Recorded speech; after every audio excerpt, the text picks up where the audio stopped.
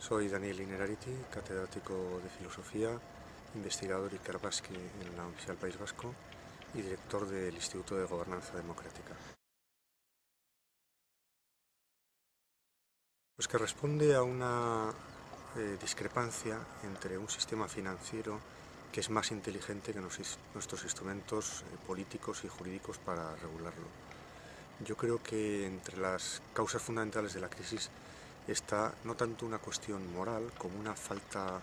política, una falta de competencia cognitiva por parte de la política para regular los mercados financieros. Sabemos relativamente bien cómo hacer las cosas cuando se trata de espacios delimitados como los espacios de los estados nacionales, pero somos especialmente analfabetos a la hora de regular aquellos riesgos que se salen del marco nacional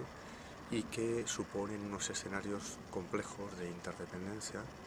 donde puede haber encadenamiento de riesgos que somos incapaces de controlar. Bueno, creo que si hubiera que elegir entre factores, actitudes, acciones, yo subrayaría dos. En primer lugar, nos hace falta una mayor anticipación del futuro en términos de anticipación, de previsión, de precaución por tanto sacar a la política y a la economía en general de la dictadura del corto plazo. Sin visión de futuro no podremos resolver problemas que incluyen desarrollos catastróficos en el largo plazo. En segundo lugar, creo que la gran lección que podemos aprender de la crisis, como aprendimos de la crisis del, del 29, es que nos hace falta inteligencia cooperativa. Es decir, en torno a decisiones que tienen una gran complejidad, en medio de grandes y profundas interdependencias, cuando no es posible actuar en beneficio propio sin tomar en cuenta el interés de terceros,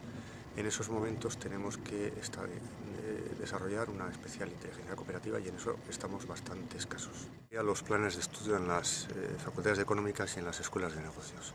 introduciendo más disciplinas humanísticas y de ciencias sociales. Me parece que una de las causas de la crisis está ahí, en un modelo de economía matematizada que se ha presentado a sí misma como paladín de la exactitud y que ha pretendido algo contradictorio, ha pretendido mantener un discurso general acerca de lo que las sociedades en su conjunto debemos hacer y al mismo tiempo desarrollar una hiperespecialización que le hacía incapaz de tener una visión sistémica del conjunto. Si queremos que esto no se vuelva a repetir, una de las cosas que hay que hacer con mayor urgencia es replantearse si en las escuelas